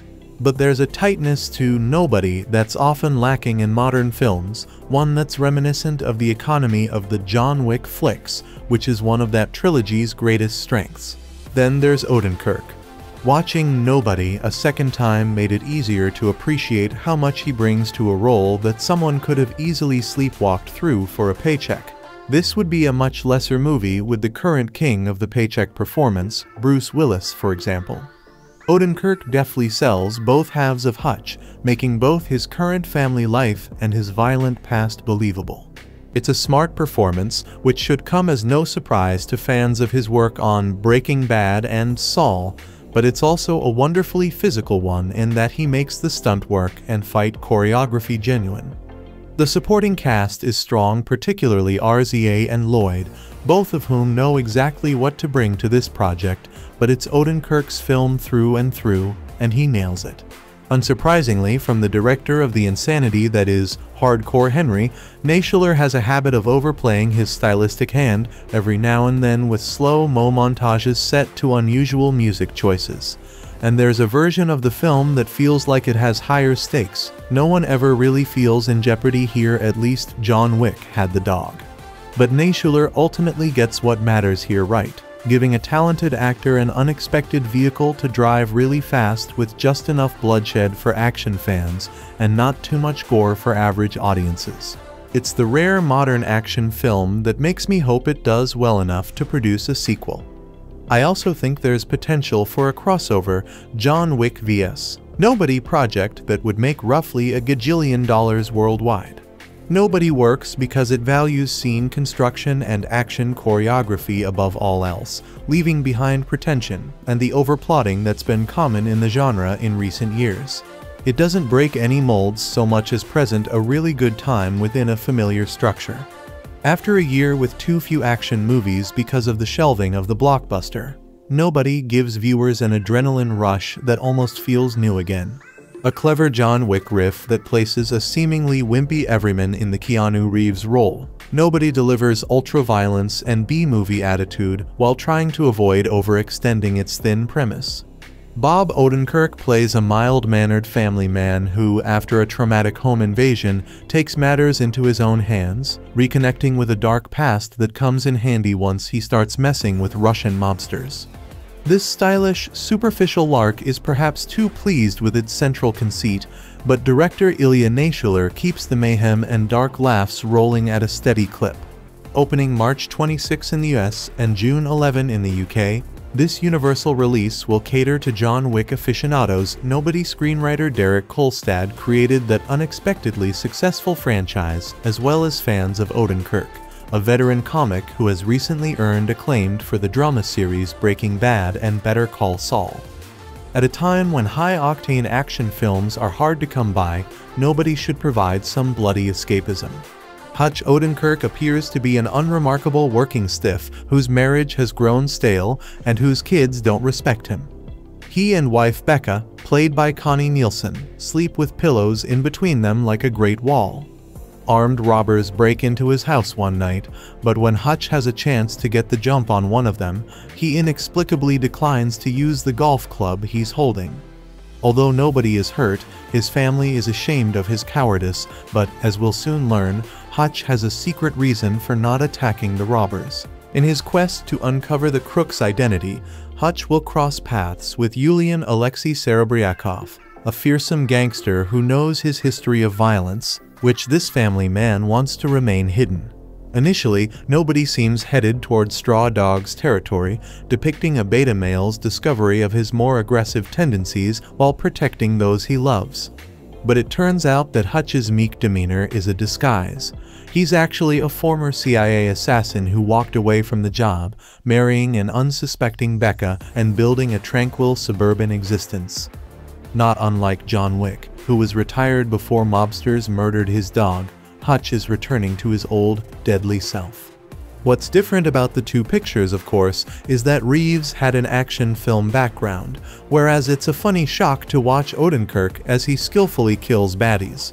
And although stunt doubles certainly assist Odenkirk during nobody's hand-to-hand combat set pieces, the actor capably conveys Hutch's calm menace, making the leap from regular guy to lethal weapon with relative ease. Kolstad's script does some of the same inventive world building as in John Wick, and indeed part of the fun is learning how complicated Hutch's elaborate ruse has been. As Hutch's elderly father, Christopher Lloyd gets laughs when we learn that he's not really a kindly, frail grandpa. But the novelty of these reveals can only carry the picture so far, which puts the burden on director Naishuller Hardcore Henry to come up with inventive action scenes once Julian orders Hutch eliminated. Thankfully, nobody's dynamic sequences find Hutch dispatching his foes, whether during gonzo car chases or a brutal finale in the warehouse where he works. Gruesome deaths are par for the course with a film like this, and Naishuller doesn't skimp on the over-the-top violence. To be sure, he indulges in some familiar gimmicks ironic juxtapositions between slow-motion carnage and sentimental pop standards, such as Louis Armstrong's What a Wonderful World, are nothing new. But despite Naishuller's distracting showiness, nobody is so smoothly executed that its shop-worn elements aren't too much of an issue. For years, Odenkirk was known for cult comedy programs like Mr. Poppan Show before signing on to play shady attorney Saul Goodman in Breaking Bad and, subsequently, Better Call Saul, which demonstrated his dramatic chops. Nobody might have been a greater revelation before Breaking Bad, but nonetheless the film which Odenkirk produced allows the actor to meld both sides of his on-screen persona the deceptively bland everyman that was central to his comedy and the quiet authority he brings to Saul Goodman. His supporting cast, especially a sideline Nielsen and a hammy Serebryakov, are largely peripheral to this star vehicle, but Odenkirk proves to be a compelling presence, always underplaying the humor so that Hutch comes across as a believable enforcer despite his bland appearance. Nobody will confuse this picture with the dizzying heights of the Keanu Reeves franchise, but nobody ought to tie genre fans over until the next John Wick installment. Other information about this film. Before there were superhero films, there were Don't Get Mad, Get Even films. You might say that the two genres have nothing to do with each other.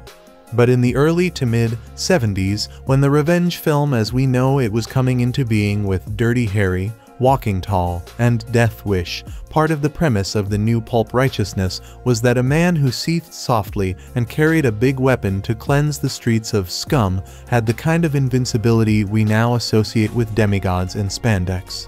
The revenge genre, which could also be called the defend yourself because no one else will genre, became a mythology, a fusion of lone wolf western nostalgia and right-wing nihilism that any actor with enough muscle mass and the right scowl could plug into.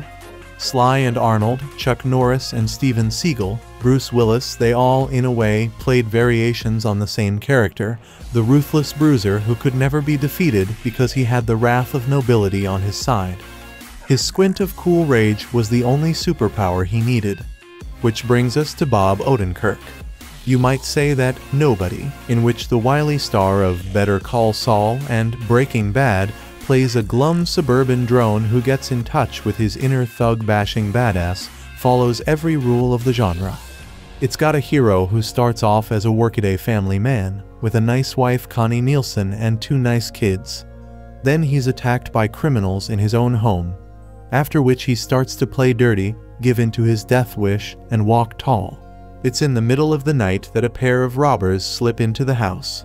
Odenkirk's Hutch Mansell, hearing noises, goes downstairs to investigate, and there's a scuffle, but it's between his teenage son, Blake Gage Munroe, and one of the intruders.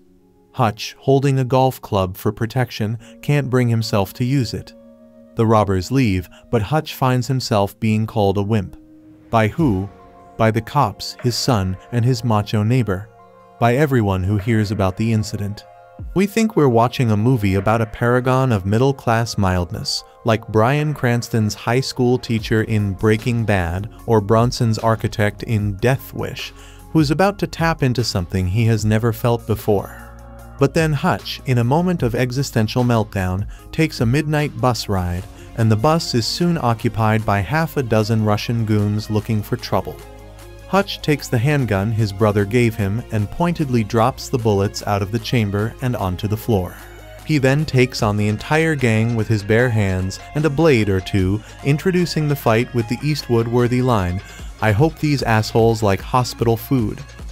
Moments later, Hutch walks away, bruised but unbowed, and his victims are indeed headed for the hospital. How did this happen? Hutch, it turns out, was never what he seemed. He's got quite a backstory, and nobody isn't the movie it seemed either. It was directed by Ilya Naishuller, the audacious punk video auteur who has made just one previous feature, Hardcore Henry 2015, a spectacularly grandiose and innovative sci-fi noir action thriller done almost entirely in one shot, all from the point of view of its cybernetic hero.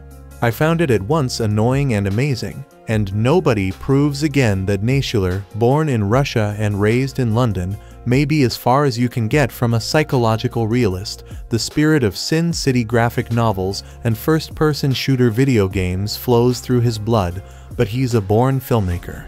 Nobody is a thoroughly over-the-top, and at times Looney Tunes entry in the live and let die vengeance is mine genre. Is it a good movie? Not exactly. But its 90 minutes fly by, and it's a canny vehicle for Odenkirk, the unlikeliest star of a righteous macho bloodbath since Dustin Hoffman got his bear trap on in Straw Dogs. With his nerdishly parted receding hair, officious voice, and crestfallen air, Odenkirk could be the gloomier brother of Steve Carell, and you may wonder how we could start to buy him as the scariest person in the room. But Hutch possesses not so much brute strength as a certain deadly secret training and mad skill, and Odenkirk shows you how the payback brings him back to life. He'll need every bit of that skill too. One of the thugs he damaged is the brother of Yulian, a Russian mobster played by Alexei Serebryakov from Leviathan, with a fearsome magnetism that's at once authentic and operatic. He's like the Frankenstein's monster of hard partying hooligans. The plot of Nobody is, in a word, preposterous, but Odenkirk's conviction makes it work, as does the deranged twist of having Hutch team up with his retired FBI agent father Christopher Lloyd and adoptive brother RZA. The movie is all about how Hutch, beneath his safe and colorless life, has to get back in touch with who he really is. And maybe that's a metaphor for the way a lot of middle-class nobodies feel. It would be overstating things, though, to push the meaning of a thriller like this one too far. It's just a cardboard fable. But when the ultraviolence erupts, the movie pops. There there is an entire popular subgenre of films about men who are asleep and miserable before they wake up and find their metaphorical balls through some major change in their life. Maybe they find out their spouse is cheating on them and their marriage is over, or maybe a child was kidnapped and the police won't help. What's important is that the man returns to self-confidence, usually gaining the love of a beautiful woman and the adoration of a side character who previously bullied them. There is another popular subgenre of film about fucking with the wrong person, and the consequences of doing so. Ilya Naishuller's 2021 violence fantasy Nobody belongs in both buckets and treats them with same level of reverence. It's an incredibly skillfully made film. Naishuller excels at delivering action set pieces and at giving his actors room to react non-verbally, with only time and their darting eyes and body language telling us what they're feeling, or whether they're trying to escape or getting ready to act. It's also probably one of the most morally repugnant films I've ever seen. Nobody's protagonist isn't running from someone who's coming after him.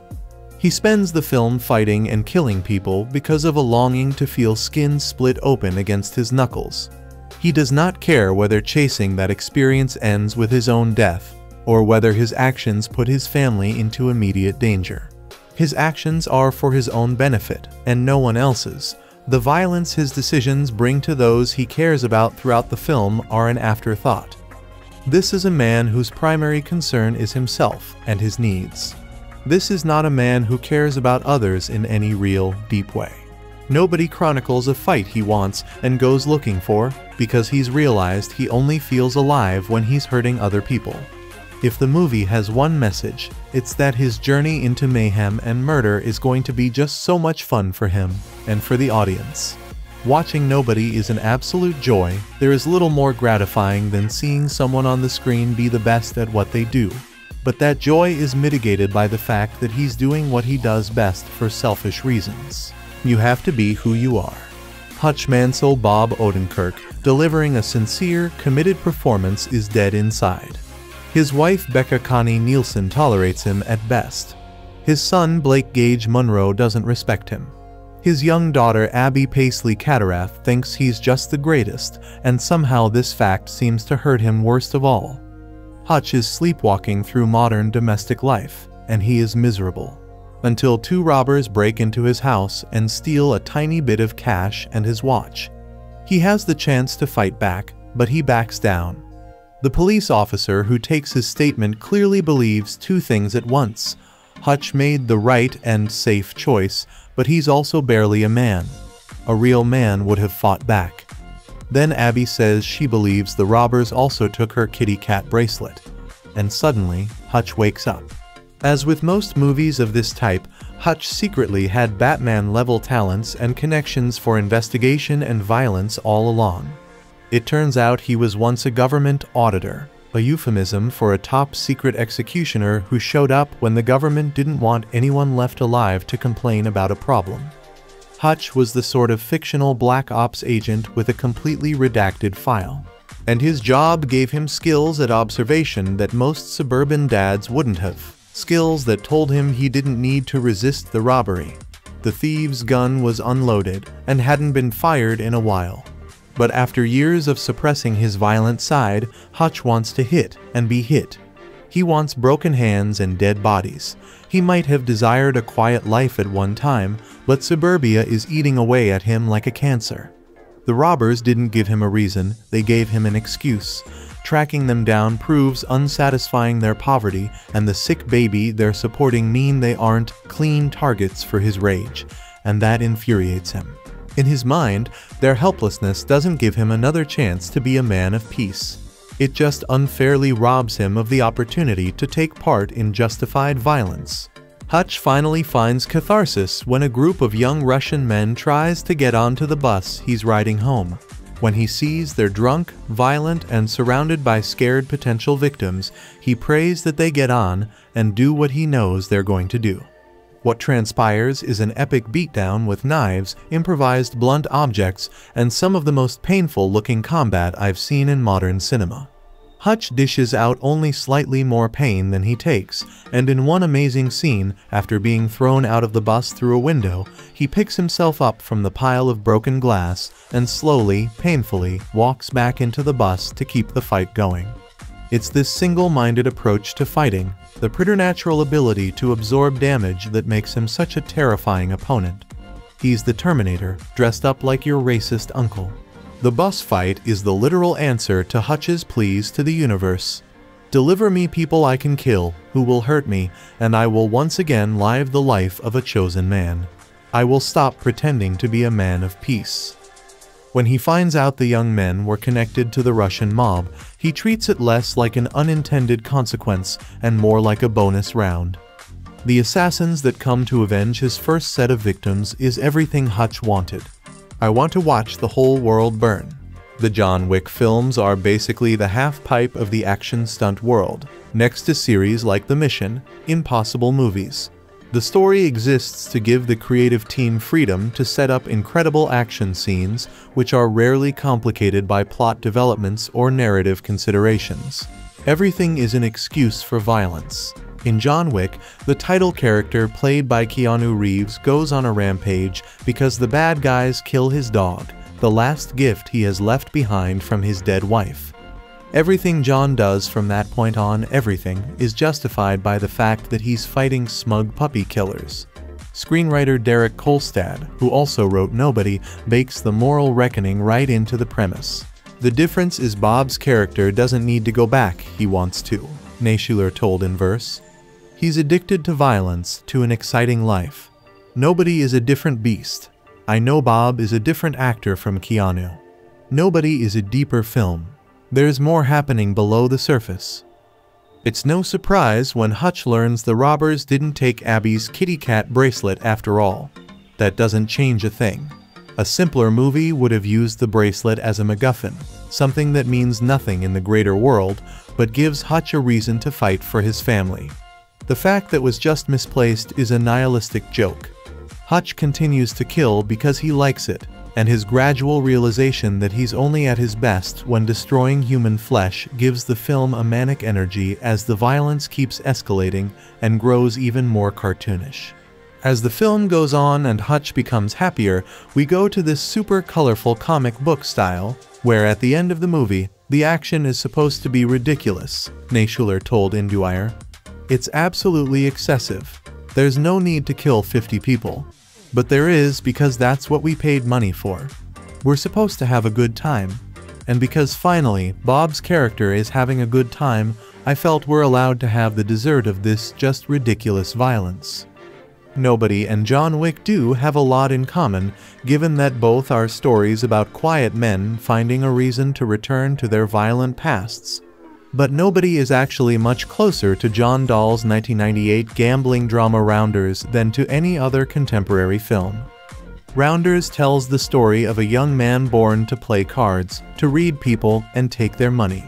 He tries to hide his true nature by going to school to learn law, a profession that also benefits from superior risk management and the ability to read opponents, but he only finds himself again when he leaves his real life to chase the next game. Whatever life he chooses in which he isn't playing cards would be a lie. Nobody tells the same story, but with death, pain, murder, and fun. This is no moral cover for what Hutch does in this film, outside of the fact that he decides to kill other criminals. His primary target even wants to abandon his criminal career, but Hutch doesn't want anyone to escape. He wants everyone but his own family locked in that figurative bus, unable to escape his fury. He hurts people because he wants to, and he doesn't feel like he's a man unless he's doing so. If he dies in the process, he knows he'll die happy, doing what he loved. Cinema is choked with films about middle-aged men who don't know how to shake themselves out of the torpor of day-to-day -day life. Nobody puts a dark spin on that concept by stating that sometimes the best way to find yourself is to destroy others.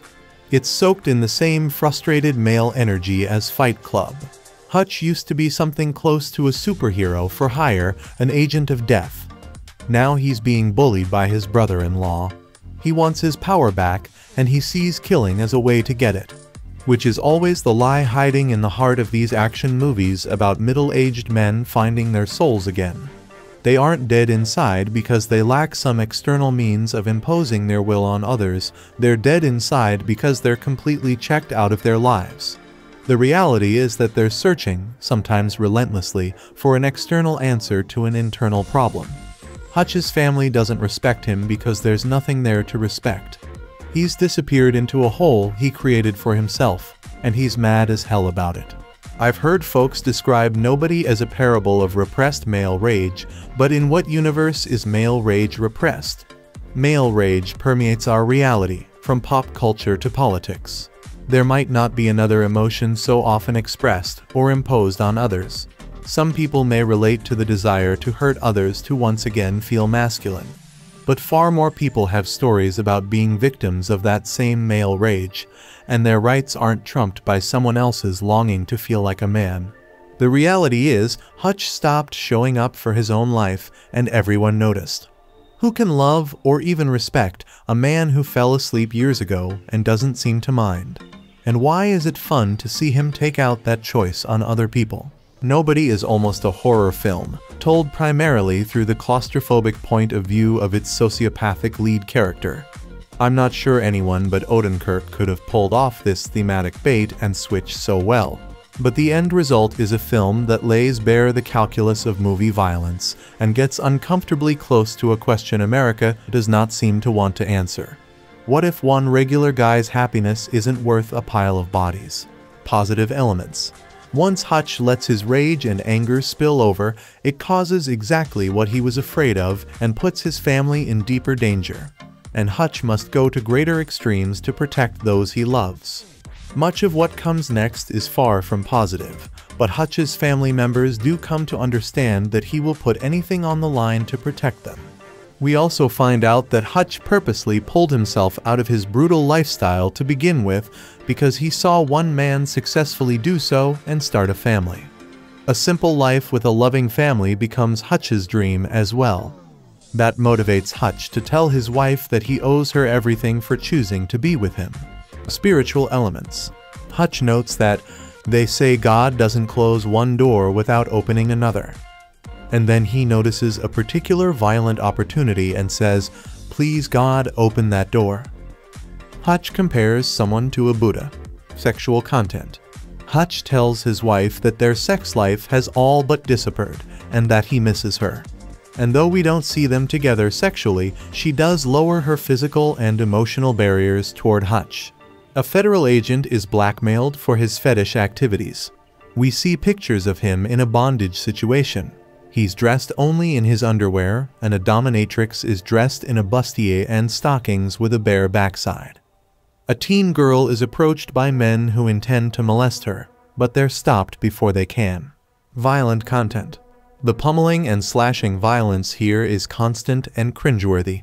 It ranges from a teen boy being wrestled down and punched in the face, and an innocent girl being manhandled by drunken men to scores of people being impaled and eviscerated and left in pools of their own goop. In one extended scene, for instance, an angry Hutch faces off with five large men in a bus.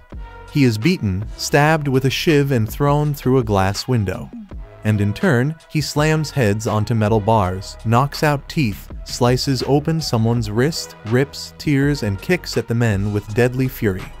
Hutch crushes the windpipe of one man with a metal bar and then slices open a hole in his neck so the man can breathe. That's just one example of the visceral and bloody scenes in the movie. Throats are sliced with broken glass, arms, noses, and fingers are snapped, People are beaten with pipes and chairs and impaled with large chunks of rebar. Men are shot with execution-style blasts to the head. Shotguns and automatic weapons riddle men with bullets and shot. And explosions send some thumping into walls and vehicles. Vehicles crash, flip and crumple, leaving occupants bleeding and impaled. A house is purposely set on fire, consuming the bodies inside. A different room filled with valuable items is doused with gasoline and set ablaze.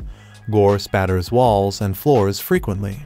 One man is hit by the blast of a claymore mine and his face and upper body is turned into a soupy mess. Crude or profane language. 40 F words and nearly 10s words join several uses each of the words H, BCH, and a whole.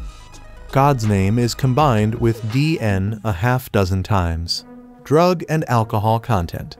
Hutch and his wife drink wine with dinner. As Hutch's former self becomes more prominent, he starts drinking glasses of hard alcohol. A Russian mob kingpin owns a club that's generally packed with heavy drinking partiers. The kingpin smokes and guzzles booze regularly, and we see him snort cocaine too. A group of drunken men crash their car and pile onto a bus with open bottles of booze in hand other negative elements. Hutch steals a neighbor's car and he uses an expired badge to impersonate an FBI officer. A man crudely blows the contents of his nose out on the floor. Conclusion The popular John Wick films feature a tough-looking guy with a certain set of skills who comes roaring back from early retirement to take on bad guys with bloody aplomb. The newly released Nobody takes that Slaughterhouse Wickian formula and makes it its own. Only this time, we get an average-looking, well, nobody who's coaxed to unleash his skull-kraken rage. Lead Bob Odenkirk delivers those bone-breaking duties with a likable blend of sad sack incongruity and strenuous knuckle bloodying. The film is well choreographed and paced.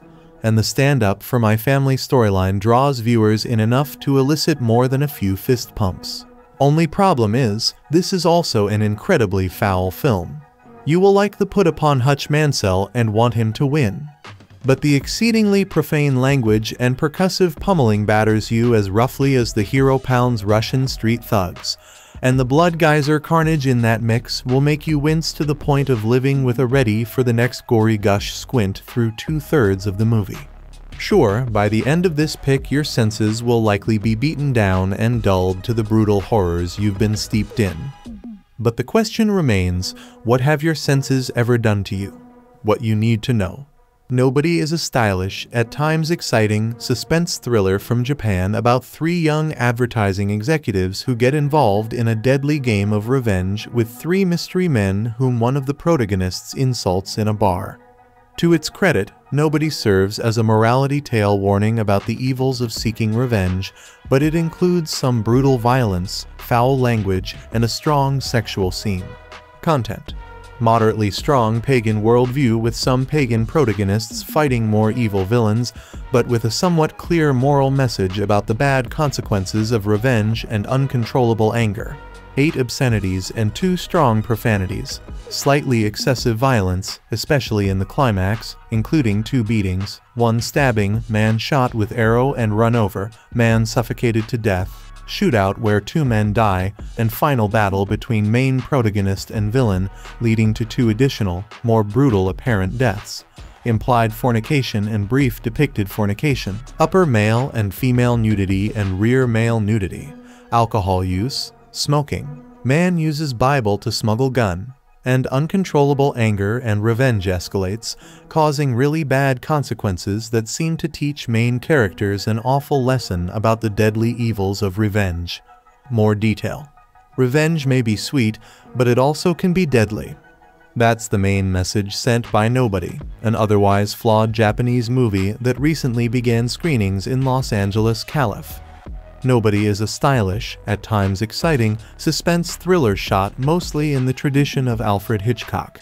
Three advertising men working for a large company run afoul of three mysterious men in a bar when one of the ad men, Nanbu, insults the plain, tacky style of clothes that the other men wear. When one of the other ad men, Kenishi, forgets his umbrella, the three mystery men beat him up so bad that he has to go to the hospital. Nanbu convinces Kenishi and Taki to seek revenge. By coincidence, they meet one of the other three men in a dark tunnel and beat him up severely, leaving him there. Nanbu, of course, is the one who enjoys beating up the man the most. With his conscience bothering him, Taki reads newspapers to make sure that the man in the tunnel didn't die. He finds no reports about it, but suddenly he and the other two men start getting calls from the leader of the three mystery men. The leader tells them that the man they beat up has died. He vows revenge. Kenishi suffers another attack, putting him in the hospital. Taki and Nanbu at first lie to the police about it, even though the leader of the mystery men assures them that going to the police will not protect them anyway. He is right, and Taki, who's cheating on his nice girlfriend with a sexy model, eventually must fight it out to the death with the leader, but not before some nifty twists in the plot. Nobody holds down the blood and gore until the final battle between Taki and the leader of the Mystery Men. A plot twist in the final battle provides perhaps the most extreme violence in the movie. Before that, there's an exciting shootout between the bad guys, Taki, and a policeman who's decided to help Taki. In between are two nerve-wracking attempts against the lives of Nanbu and Kenishi. To its credit, Nobody serves as a morality tale warning about the evils of seeking revenge and becoming uncontrollably angry. Regrettably, its final scenes are bloody and brutal enough to rate a strong R rating, although this particular foreign film has not been rated by the Motion Picture Association of America. Also, the movie contains references to implied fornication and one scene of depicted fornication, including upper female nudity. Finally, the three protagonists observe no high moral principles other than the fact that they are not as sinful as the antagonists. Although the antagonists instigate the violence, the protagonists try to finish it, but begin to realize they're in over their heads. Also, the movie clearly portrays Nanbu, the worst of the three protagonists, as a mean-spirited hothead. The conceited Nanbu gets out of control at times and even advises his friend Taki to fornicate with other women besides his girlfriend. Taki, of course, eventually gives in to this advice, but he also suffers for his bad decision. With a little more careful planning, more artistic restraint in the ending, no objectionable content like obscenities and scenes of depicted fornication, and a strong Christian worldview, nobody could have been a really first-rate suspense thriller. As it is, the movie deserves a strong caution for adult viewing no teenagers or children, and is likely to play only small art houses in large cities in the United States and elsewhere, as it did in Los Angeles this June. We have all seen the action movie about the normal, average guy who is thrust into an abnormal situation. One spin on this tale is to make the guy seem normal at first, but to give him a secretive past, one that will help him with whatever issues arise within the film. We have all seen that version of the story too. What we have rarely seen, however, is as good a take on it as Bob Odenkirk's new film, Nobody. Directed by Ilya Naishuller with a script from Derek Kolstad, Nobody is something special. It isn't just that Odenkirk is fantastic, and he is fantastic, it's that the movie hits all the right notes, all the way down the line. Everything that goes into it builds around this idea that the look and feel of Odenkirk, especially Odenkirk as this character Hutch Mansell, is not the expected look and feel of an action hero. Everything is skewed towards the regular, and then the incongruous occurs. It happens from the start of the movie and continues all the way through. We learn all about Hutch and his quiet, dull, sad life in the greatest of fashions. We see a montage of several weeks in his life as he gets up, exercises, takes the bus to work, enters numbers in a spreadsheet, and misses the garbage man over and over again. We see his wife, Becca Connie Nielsen, remind him of this last bit repeatedly. It's a brilliant entry point, because this is who Hutch is, it is who he has been for years, and who he might very well be forever. When we meet him, he's a nice, quiet family man. He's employed by his father-in-law Michael Ironside in what feels like a position he was given so that the old man's daughter could be happy. There's a pillow wall on Hutch and Becca's bed, a barrier between the two. Who put it there? How long has it been there? The two don't seem like they would fight, but there's a lingering sense of her disappointment in him, in his quiet nothingness as a human being, a disappointment he echoes. This very well might be a film about one suburban guy having a midlife crisis. It isn't. After the introduction, there are some completely eye-opening moments as this guy, Hutch, slowly has his layers peeled back and is revealed to not be an average individual, but a man who once lived a life requiring that he kill a whole lot of folks. Odenkirk is believable as the average schmo when Hutch is wearing a polo tucked into his khakis. But then it comes time for Hutch to kill someone, and there's a glint in the actor's eyes. We can see Hutch come alive as he's getting stabbed, we can see a fire building inside as he reveals his true self, and it's amazing. Kolstad is the writer of the three John Wick movies, and this story has a similar vibe. There is this shadowy world we do not know about, but which clearly has been constructed, and quite possibly will be revealed in the future. Odenkirk's Hutch can even be seen as a take on Wick himself. But when we see Keanu Reeves, we all know that he is a guy who cannot just deliver action beats on screen, but really and truly make the audience feel the blows. Odenkirk is just as good here, if not better, because we don't expect it from him. Odenkirk offers more of an everyday guy sort of look than Reeves, but shows his character killing with equal brutality. The plot, as it goes, is pure silliness involving a chance encounter with the Russian mob, but it puts the pieces in motion. More than that though, the movie knows that there's not much there, it sort of revels in it.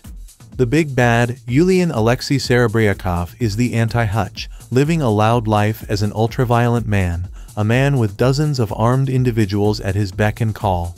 Hutch has no one to call, well, except for his dad Christopher Lloyd and his mysteriously disappeared brother RZA, a man who is little more than a voice on the other end of a radio. Looking at the music, there is stuff like Louis Armstrong singing What a Wonderful World, Gerry and the Pacemakers doing You'll Never Walk Alone, Andy Williams performing The Impossible Dream, and Pat Benatar singing Heartbreaker. It isn't just that it crosses genres and decades, it's that a lot of the songs aren't necessarily what you would expect for an action movie, not that they haven't been used, necessarily.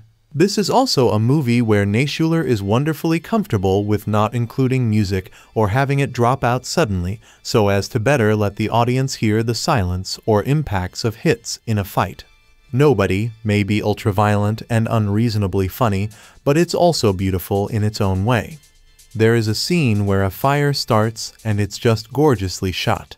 Yes, whatever the goal of an image, or a song, or a sound, or a silence, or a look from Odenkirk, or Nielsen, or Lloyd, or Serebryakov, it all serves to convince us that this movie is an odd choice for Odenkirk, or that Odenkirk is an odd choice for this movie. Then, of course, the actor puts a bullet through someone's skull, or builds a grenade or viciously knifes someone else, and we're pretty convinced he could break our legs with little more than a flick of the wrist. Odenkirk doesn't just shine in the role, he mesmerizes. With Connie Nielsen and Christopher Lloyd in supporting roles and quick appearances from the likes of Colin Salmon, this is a full world of heart-pounding excitement, and it's one where I have an irrational fear that a sequel will exist.